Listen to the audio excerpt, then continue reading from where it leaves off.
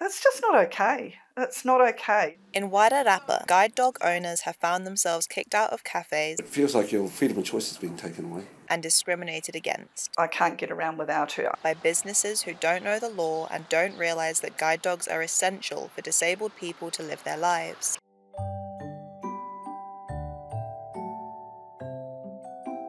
Dogs have long been known as man's best friend, but there's a big difference between the average pooch and a dog that can open doors for humans needing help to get around. Reasons for needing guide dogs vary from epilepsy to neurodivergence, but we most often see guide dogs assisting blind people. According to Blind Low Vision New Zealand, an estimated 180,000 Kiwis live with severe to moderate vision loss, and of those, 18,200 use a fully trained guide dog it gets pretty intense. It's kind of like these dogs are going to university and you know really learning learning the ropes. Blind Low Vision New Zealand is one of eight certified disability assist dog organisations in Aotearoa. They breed their own Labradors and send them to volunteer homes for the first 15 months, where they are socialised and taught the basics of being a good dog. They'll learn basic obedience and those sorts of things. Uh, they'll learn to toilet on command, which is a very important part of being a guide dog. And, and again, be socialized in the environment. That's the most important part of that puppy raising program is to be able to go out into public, uh, for it to be normal for them to go into cafes and shops and airports, ride on buses and trains and that sort of thing. So they get that exposure uh, during that time.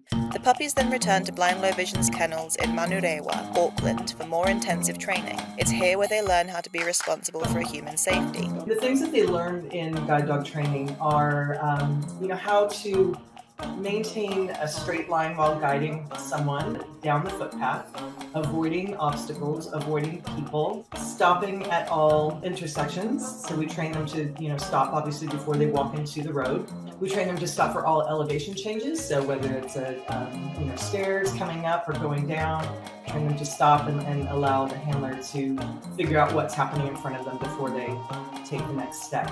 Once the organisation matches a dog to their human, they become the guide dog's handler. It's the handler's responsibility to determine things like the dog's orientation and when it is safe to cross the road. It's teamwork. They really uh, rely on one another to get from point A to point B. So we ask our dogs really to ignore what it is just to be a dog so you know, there's no there's no picking food up off the ground. There's no visiting with other dogs on the walk.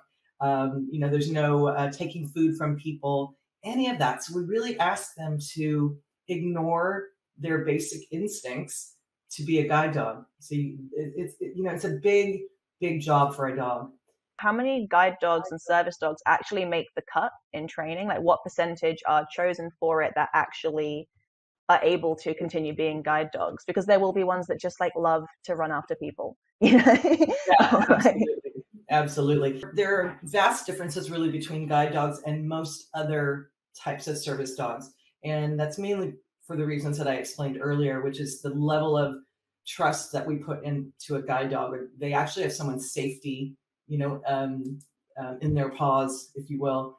Uh, with a guide dog obviously temperamentally they've got to be really sound you know, we need these dogs who can handle just about anything um, and, you know, keep somebody safe.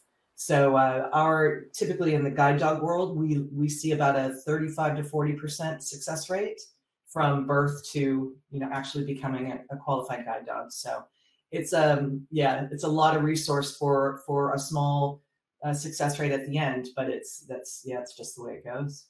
Because guide dogs are so highly trained and so important to the safety of their handler, they're allowed to go anywhere they're needed, often into places where dogs are strictly forbidden, and sometimes that can cause problems. Recently, Masterton social worker Donna Lane was thrown out of a local cafe because of her guide dog.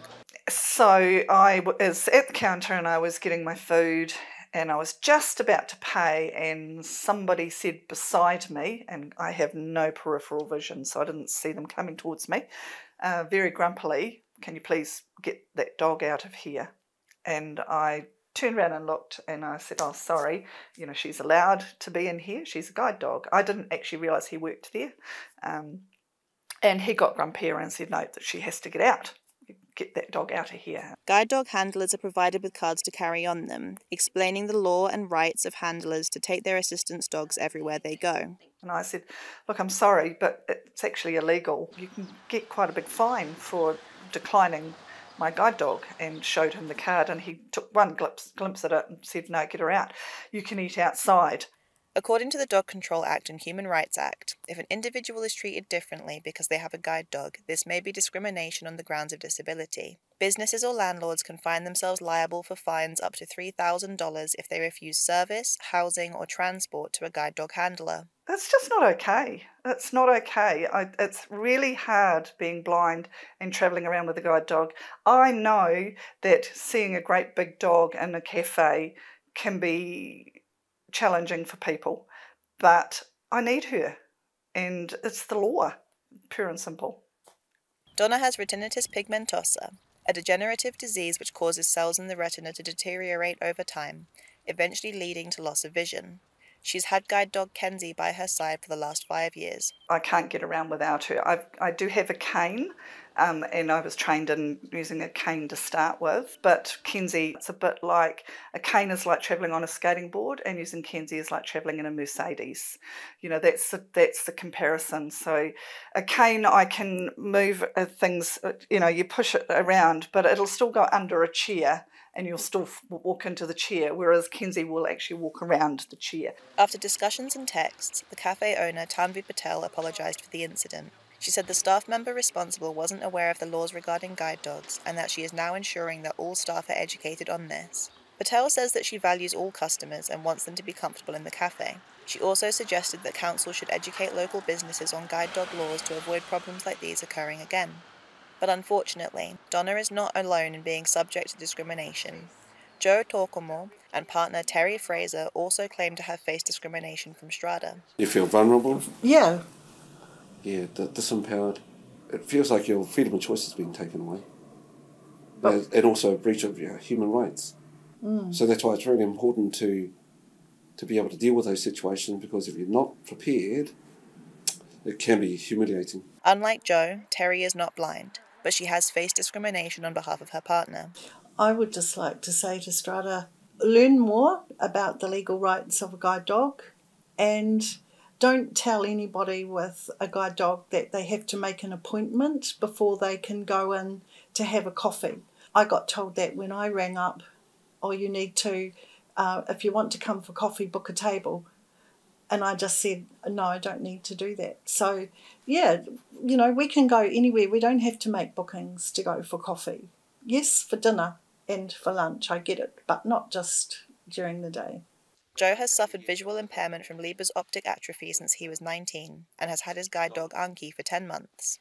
The couple say, on the whole, Greytown's community has been hugely supportive of Anki, but when travelling further afield, they have had 11 confrontations so far, even when she has her certified vest on. Every day he wakes up knowing that he's got a visual disability, um, and he goes out with Anki, who is his eyes, his life, his support, enabling him to be independent and to be faced with these challenges has been quite a journey for him and myself because often people do not see Joe or talk to Joe, they direct their conversations at me. So I'm an advocate as well, and yet I'm not the handler of the guide dog. So the other um, cues that I miss is, is the body language.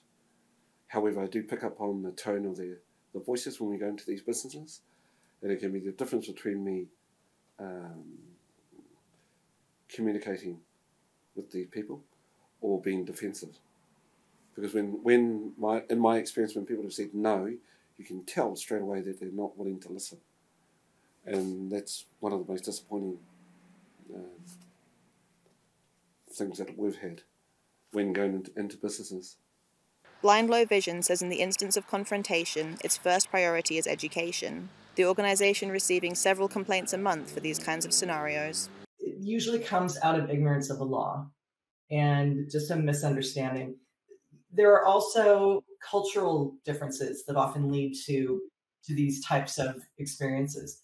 Um, you know, people coming from other parts of the world where dogs are not seen the way they're seen here in New Zealand can have an effect on whether they think a dog is allowed in, inside a cafe or not. What is an example of where rejecting a service dog might negatively impact the person using the service dog? There are so many negative impacts. Uh, you know, if you can imagine being in a cafe and you've gone up to the counter to order a coffee and some and the person there asks you to leave, you know, first of all, it's humiliating. Um, you know, suddenly this person is being um, pointed out as as someone who doesn't belong, who isn't welcome. Um, so so there's that. There's there are other times that it can actually affect people's livelihood if they're expecting a taxi to pick them up and the taxi rolls up, sees they have a guide dog and and refuses service. That person maybe doesn't get to work on time. You know, and if this is a, a constant for them, um, same with buses. You know, I, I've personally experienced this as someone who trains guide dogs. Had a bus pass me by when they saw I had a guide dog. You know, so you're standing there stranded. That can affect your safety. Donna has one final message for anyone questioning a guide dog's place. Everybody's pushing a wheelbarrow. You don't know how heavy that wheelbarrow is. Be kind. You know, even if you don't know the law and you don't think that dog should be in there, treat me with some respect and then find out what the law is. Meanwhile, Blind Low Vision says it's committed to working with the cafe so they better understand the law surrounding guide dogs. Ellie Franco, Local Focus.